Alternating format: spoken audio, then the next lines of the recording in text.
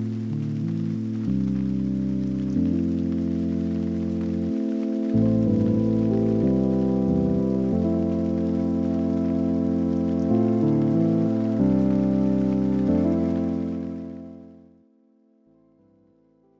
Okay, so for those who are looking for just the low profile boom arm comparison, especially from Maono and all the other ones that I currently have in my possession and stuff and my overall thoughts on it and everything, you can use the YouTube chapter markers wherever within the play bar to skip ahead to the review and stuff like that. But for those who actually care about like my thoughts on the company, my interactions with the company, me being a small YouTuber or wherever, and seeing other people review products from this company and just based off my interactions with the type of company that Maono is and everything like that, and you wondering my frustrations and why I probably won't be, I would say, reviewing any other products in the future, then I would say stick around for this part. Just know that it's going to be a little bit ranty because I do suffer from uh, mental issues. And one of the things is that Maono actually triggered my PTSD, and I had to wait a couple of days or whatever before I could even start recording the videos, even though all my other videos that I had planned or wherever I had caught up on and did and everything like that. So let me just go ahead and jump into this little rant, or I would say um, little thoughts and opinions on the company. This is the third time I'm working with Maono on a uh, product to do a video on. Um, the first time they reached out and everything, I was kind of aware of the company, wherever obviously when you're a small content creator, you get business emails and stuff like that all the time from a lot of companies asking to, you know, do reviews and stuff for their products and everything. And then sometimes they'll take your videos and post it on their page. It's kind of like an unwritten rule kind of thing when it comes to it. They, sometimes a company will say, you know, they have if they if you receive a product from them and you do a review on it they have rights to your actual video or whatever even if they don't state it in an email or wherever i've seen this with maono with the neocaster little audio mixer that i did or wherever i've seen cozy christopher who's another product youtuber who's kind of blowing up wherever in the review space. Um, he did a video on his channel. Maono took that video and put it on their channel so I'm not sure, you know, obviously the interactions with other content creators and YouTubers out there and stuff like that, but it makes me wonder with these other content creators, are they really being truthful to you guys when they say that they don't let a company see their video before it goes live? Um, sometimes Cozy Christopher would say it himself. Sometimes other comp other people who get products from other companies would say it themselves. I've just noticed that Maono and some other companies are some of those companies that when they reach out to smaller content creators who may don't have over 10,000 subscribers or 100,000 subscribers, a lot of them try to manipulate the small content creator into letting them see the video before it goes live. And they do it kind of in an underhanded way. And by what I mean by that is that you're typing out stuff. You're not like in a business call or seeing a person face to face. So you don't know their emotions or how things are supposed to be perceived when they tell you something. But again, it might just be because I have PTSD and my PTSD is triggered from people who are trying to be deceitful and being underhanded or wherever and insulting my intelligence. Like the list of triggers go on and on and on due to the fact of what I dealt with while being in the military, being on deployment. So I'm very, very, I would say, cautious interacting with other people, uh, hence why I'm 100% disabled. But with doing that or wherever and seeing how Maono is as emailing me, I tell them how I do my stuff. And then they still like, hey, I want to see your video before it goes live.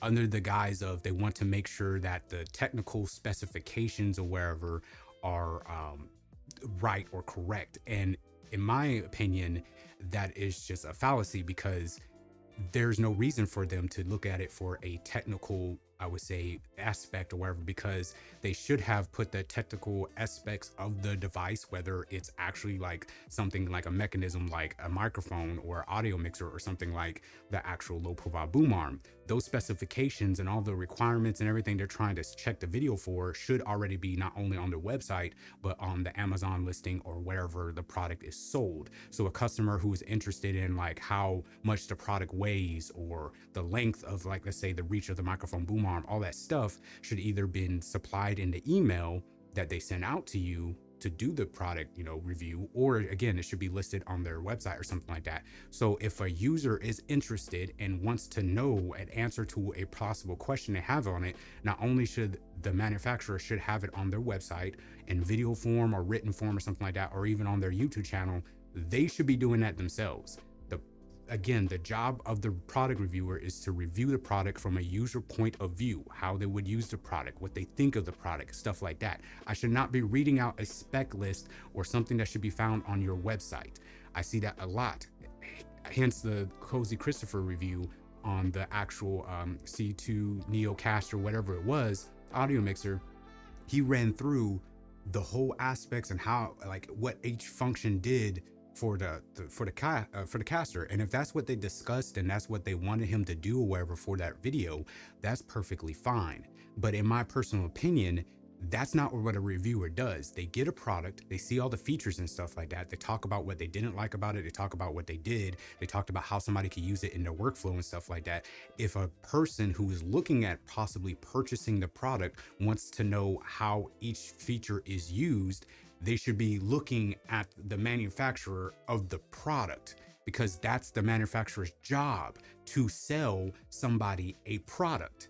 If they don't do it themselves and they're relying on other content creators to do the job for them, and then on top of that, try to manipulate their video based on what they think or wherever, it's like you're doing a job for them and you're not getting paid for it. And people will say, well, you get the product for free a $50 product or wherever to put hours and hours into editing B-roll, coming up with the script, talking to the camera and stuff like that, doing all that stuff, taking time out of your day when you could be doing something else and they give you a free product that you're probably, in all honesty, a lot of these content creators are probably not going to reuse and it's just going to sit on the shelf until possibly using it for a comparison video. Also, some of the products I have are sitting right there over on that shelf or wherever that I don't touch unless I need to use it for like a microphone comparison or something like that. That's that's just the truth of the matter. And the fact of, like I said, they're using the, the people's getting who have cameras and stuff like that. Instead of paying these people to do a video for them, they give them a product for free. They let them do all the hard work and then they steal the content under the guise of, oh, we gave you a free product that's going to get you views or wherever that's going to help you out inherently. No, if you paid me for a video, then maybe I will do that for you. If you paid me for a video and then was like, hey, I want you to do the video this way, whatever, because maybe we're a small company, we don't have, you know, the cameras, all the capabilities, wherever you seem talented in that way, let me pay you for your work. They're not paying you for your work. They're sending out a product that's probably, like I said, most of the time these companies are less than $100 or less than $200 that you're probably not going to use and it's just going to shit on itself anyways. So it's like you do all the work wherever and a company is telling you like Maono and some other companies as well have told me what to put in the title, what to put in tags, what to put in the description, do this, that, and the third. And it's like, you're trying to run my YouTube channel. You know what I'm saying? Like, I'm not the best at learning algorithms and uh, SEO and all that stuff, but based on a lot of these companies, even Maono, when they tell you to use certain titles and tags and stuff like that, it's like they're completely oblivious to actually advertising or marketing, period. It's like that title makes no sense. That's not going to grab a user's attention. That's not going to help the algorithm find people who are interested in this product at all.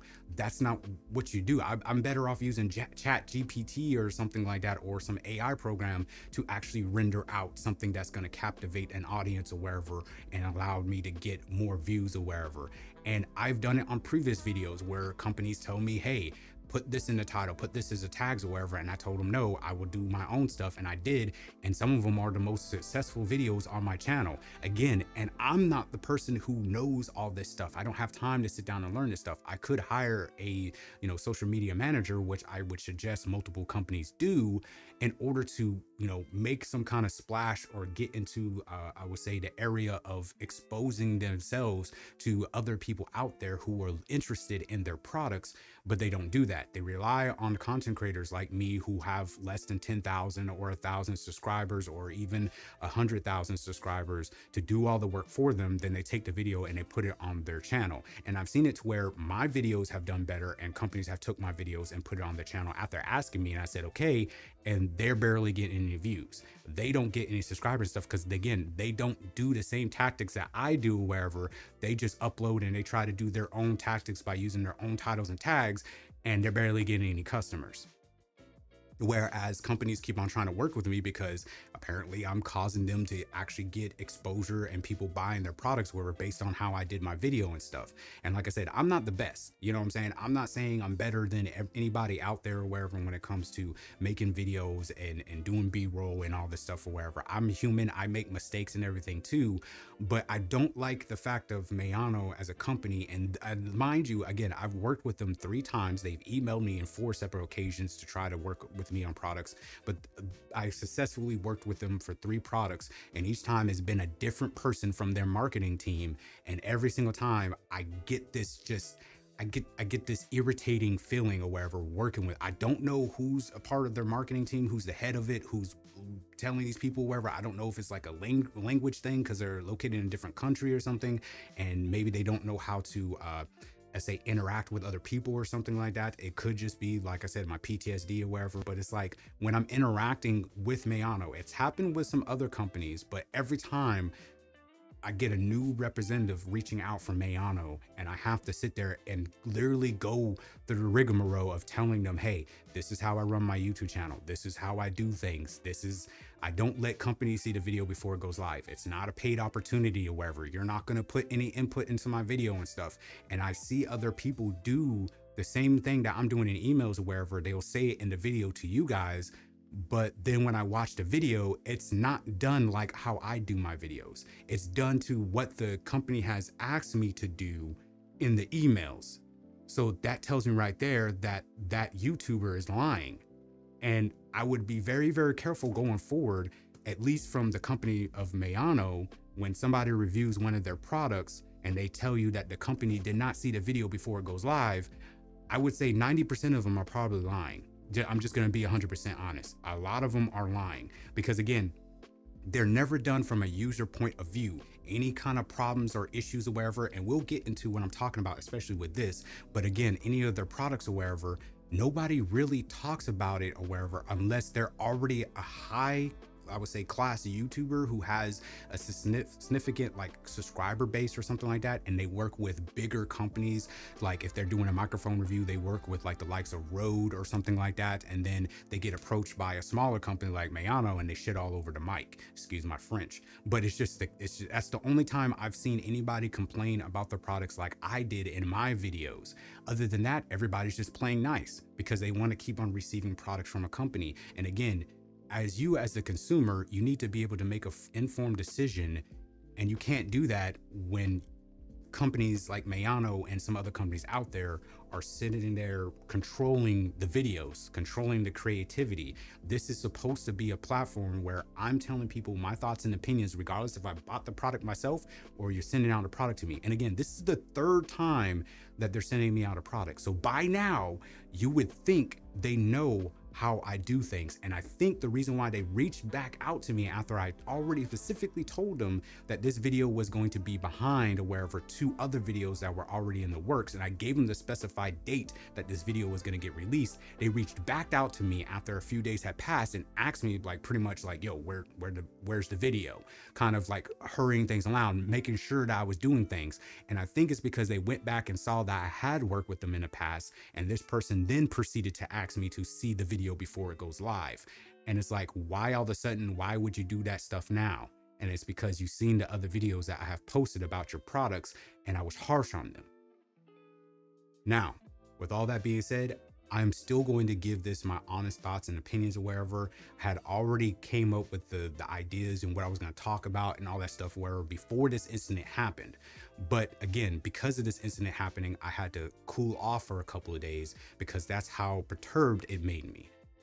With that being said, let's go ahead and jump into the review of the Maono BA92 low profile boom arm in comparison to other microphone boom arms that I have in its likeness.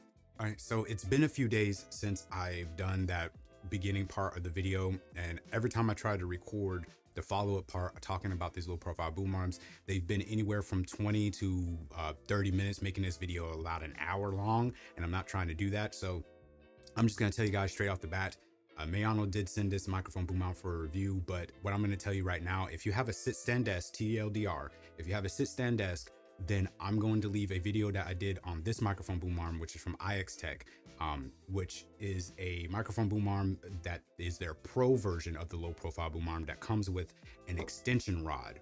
And this extension rod allows you to have your low profile microphone boom arm wherever still in that low profile position, but just elevates it up wherever. So when you're standing, you can still use it in that low profile, um, as well as having a clamp that has a headset, um, I would say rest or wherever on it that's detachable.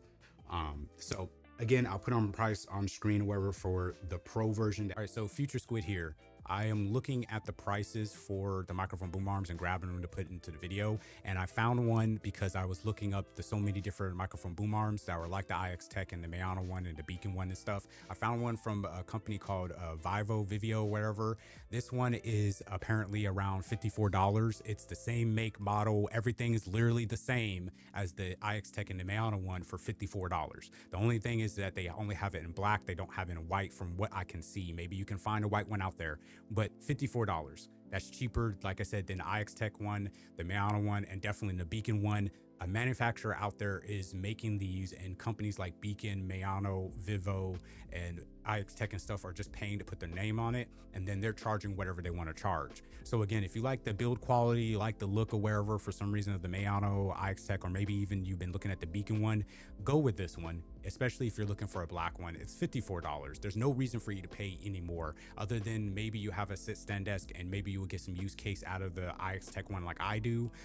But at the same time, I still would just go with the Vivio one. Unless you need a different color for some reason, or wherever your setup or wherever, if that's the case, then even the FiFine has a pink one of their low profile boom arm now out to wherever. So ladies or anybody who likes that for their setup, um, you can find it on Amazon or wherever for 60 around $62. I'll leave that linked in the description. But they have the black one for about 56 and they have the white one for about 58.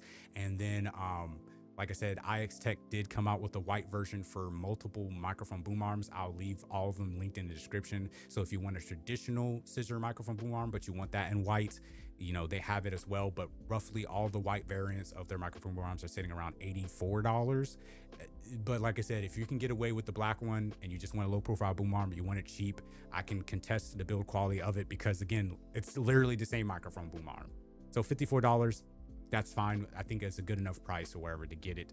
Um, so again, all of it will be linked in the description, but please don't go out and buy the Maono one or the Beacn one or even the I-XTECH one unless you have a sit stand desk.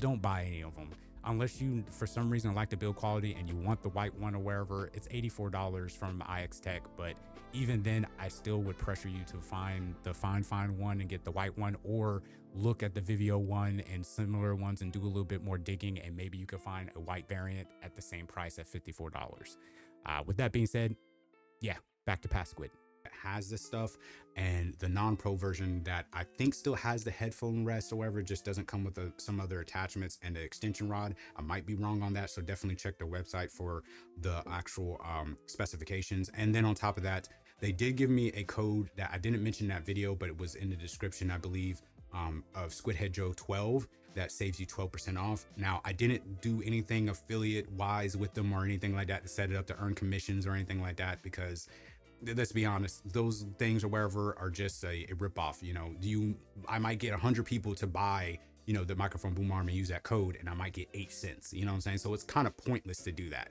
So I didn't do that, but from what I understand, like I said, the code is still active. I might be wrong, but last time I checked, it was still active. So that saves you a little bit more. And like I said, if you have a sit stand desk, then go with the I-XTECH Pro version or wherever. It's very, it comes very, very handy. I've used this microphone boom arm multiple times to do microphone tests over here, and it just comes in handy, like I said. Now, moving on, if you have just a regular desk, maybe a small desk or something like that, and you don't want something too heavy or whatever, but you want a option of having white or black, I-XTECH did drop a white version um, of their low profile boom arm but it doesn't come in that pro kit with the extension rod and headrest or whatever. So I'll still leave it linked in the description, but just know that um, it's a smooth sheen just like this one or wherever so it's easy to clean and everything and it looks nice. It's just i think that pro kit is probably going to come out a little bit later probably this year i would imagine. I'm getting one pretty soon or wherever and as well as a microphone of theirs to do a review on so stay tuned to the channel if you want to see how it looks and everything.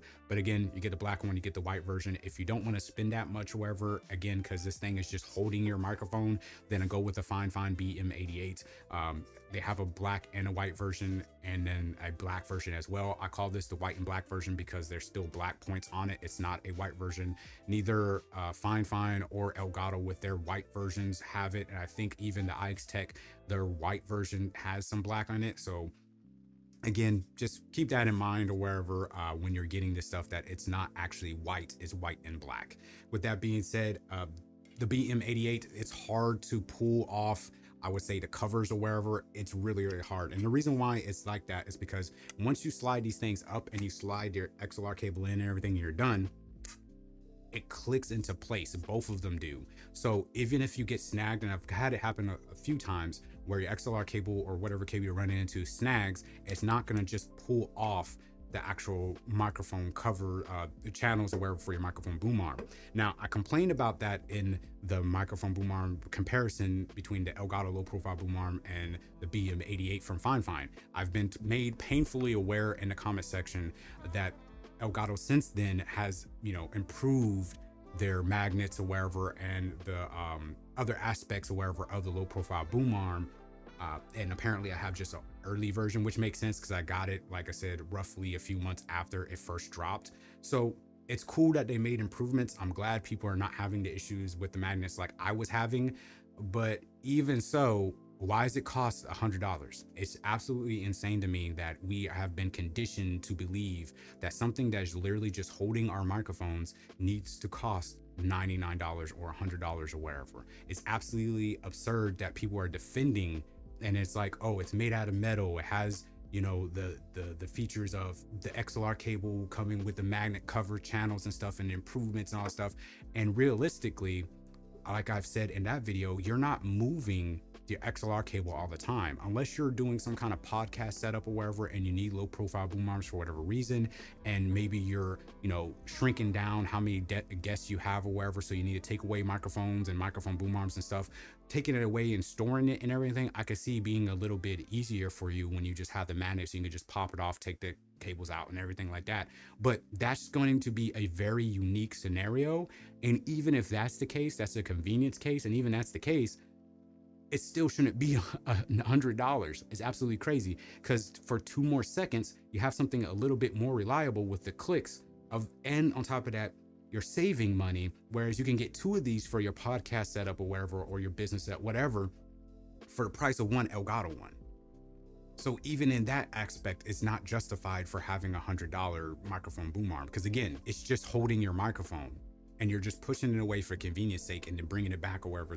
I don't understand why people are justifying Elgato's price point. Not to mention with that, is that Beacn or wherever comes out with their own low profile boom arm that's just like this. And what I think is, is that I-XTECH and Maono has paid the manufacturer of these microphone boom arms or wherever to put their names on it and release their own products. And that's why they're lower in cost in comparison to the Beacn one. And the Beacn one from what I've seen or wherever it was like 120 bucks or where I put on screen how much it costs.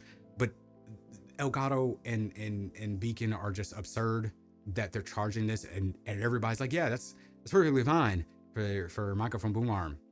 And it's just like, I don't know why, again, we're conditioned, conditioned into believing that this is okay, that we've grown uh, accustomed to and just numb like to the absurdity of some of these things that are costing so much for content creators and just people who are looking to have stuff in their setup. And we just come accustomed to it. We're just like, yeah, desensitized. Like, yeah, this is perfectly fine. This is how it should be. You know, this is, this makes sense. It's okay. And I just keep seeing that in the video that I did the comparison with the BM88 and the Elgato one that everybody was okay with it. And it's just crazy to me. It's like, don't y'all value the heart, your hard-earned money? You can get two of these for the price of it, and it's doing the same thing. And people were still saying, "Nah, man, I'll get the Elgato one." Nah, Elgato has the white and black version or whatever now. It's fine. I can I can get that. If you're looking for one, just as clamp to your desk, get this one. The reason why I don't say get the Elgato or one or the Maono one or wherever and stick with the I-XTECH is that even with the Maono one or wherever, both the I-XTECH one right here and the Maono one, they both detach or wherever like this or wherever and they clamp on the bottom, which is fine. But the problem is, is once your XLR cable gets snagged, you see how much that's giving already? It's, it's, it's gone. That's, that's, that's the problem. Even if you sit here and attach it and you pull on it, it's gone. So once that XLR cable gets snagged in there, even with this, you know, wider channel and stuff like that, it's going to pop off, you know, and not all the time is your cable going to get snagged. It might happen every now and then or something like that. Um, so your result may vary. Some people might not run into that issue. But again, I rather just have the peace of mind and not having to try to put the XLR cable back or wherever and just have this. Because again, even with the I-XTECH sending out, whoever doing the video on it, the Maono one sending out, do a video on it, me paying for the Elgato, uh, fine, fine, send this one out or wherever for review. Based on all these, wherever and using a wherever, having the insurance of this actually clicking into place and securely locking in. And like I said, even if somehow the locks or wherever break, which I find it very hard that it would happen or wherever, I think that these little things popping off the actual Maono or the I-XTECH. And even with the improvements from the magnets from Elgato, I would imagine those will pop off before this one, just based on them having them in person, using them other than the improved magnets on the Elgato. Because the only time I've seen anybody actually do anything with that is when they pull the XLR cable and it's like, oh, the magnets don't move if I pull the XLR cable. So if it gets snagged, and it's like, I've never seen anybody actually like sit here and try to do this wherever with it because it's gonna pop off.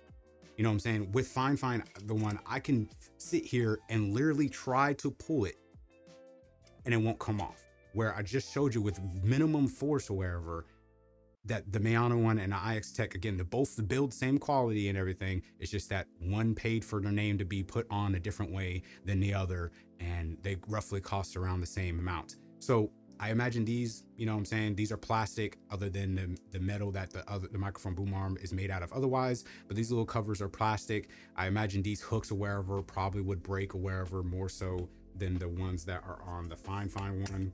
Um, just because of, of the way they're they're made or wherever and the way they slide on and everything. I just I just find it hard that these are going to break or wherever. The only downside, like I said, is that the white one is gets a little bit more dirty than their black one. The black one is more finished like this. So that's probably my only complaint about this one is that, like I've said in the video uh, when I did the review, it does seem like it would probably get a little bit more dirtier and uh, scuff up a little bit more. But as long as you're taking care of your equipment, that's what you should be doing in the first place, regardless if you're spending $100 on something or even $50 on something. That's what somebody told me about my Elgato uh, clamp wherever and when I was using the Elgato uh, arm, microphone boom arm, they said I was rough my equipment because they never had any issue or whatever. And it seemed like the way they described it, they had one of the newer versions and I had one of the older versions. And on top of that, accusing somebody of being rough with their equipment when they have hundreds of thousands of dollars worth of equipment within their space and that person probably doesn't and on top of that they don't do what i do and everything like that and they're not here in person to sit here and tell me that i'm mishandling my equipment for them to say something like that just shows me that they just don't care if somebody else had a problem with a product.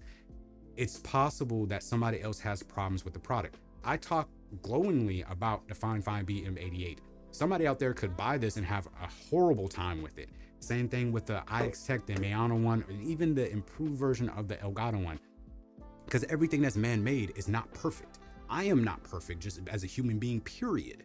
So if I make something, doesn't mean every single thing and every single iteration, wherever I could have had one of the newer versions and still had the same problems and issues. You know what I'm saying? So sitting there saying that somebody else intentionally damaged a product so they can make a video years later talking bad about it when they get a product for free or wherever, it's just kind of weird. Like, yeah, I set that up years later to be able to do that. It's just it's just weird to me. I'm talking about my personal experience using products and stuff like that. So you as the uh, you as the viewer can make an informed decision. And I'm telling you, even if you don't want to trust anything that I say, just looking at the numbers of how much this stuff costs, you should be staying away from the Maono one and the Elgato one. And the reason why I'm saying stay away from the Maono one is because there's no value here, just like the Elgato one. Whereas the I-XTECH, like I said, at least with the Pro version, you're getting something for sit stand desk and you're getting, like I said, the headphone hanger. So even if you wanted to go with something like this, you still should be going with the cheaper one that's going to not really sacrifice uh, the sturdiness or wherever or the product quality, but it's still going to be cheaper. And like I said, with the I-XTECH one and the BM88, from what I, I've seen from both of these microphone boom arms, they're just going to be better. And that's just my honest opinion. You know what I'm saying? Unless you're going for a black and, and yellow like aesthetic, I don't see why you would get the Maono one over one of these two. That's just my personal opinion.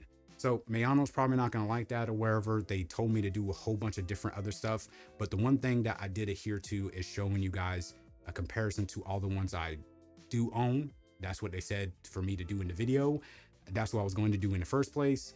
And that just again shows the incompetence of whoever's looking at these channels, suggesting products and wanting to do products or wherever reviews with co co uh, content creators, because they always sit there and say that they've been watching your channel or wherever, and they haven't been watching your channel. Because again, they would have seen what I talked about the Elgato low profile, the FiFine low profile, and the I-XTECH one. They would have seen that this one is the same exact one. So they would have seen there was no point to send it out.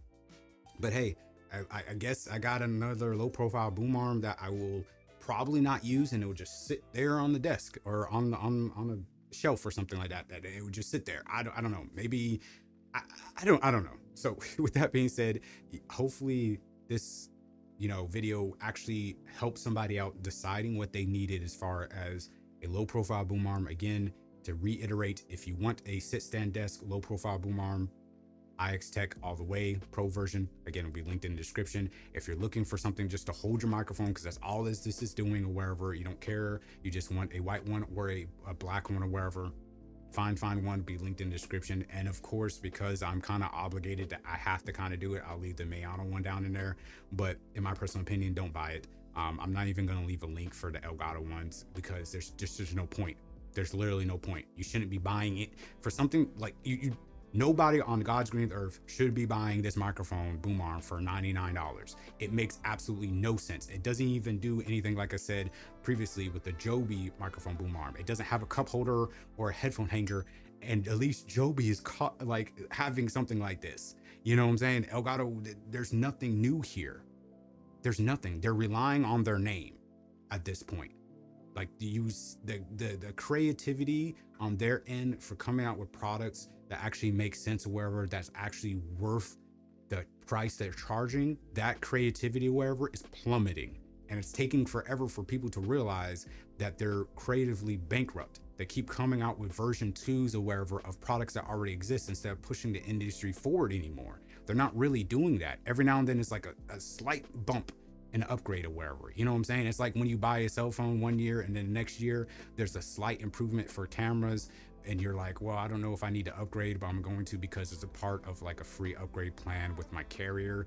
That that's the only reason why you would get an upgrade or wherever. But essentially, they're not pushing the industry forward anymore. There's like they've gotten to a comfortable spot and they're just coasting based off their name.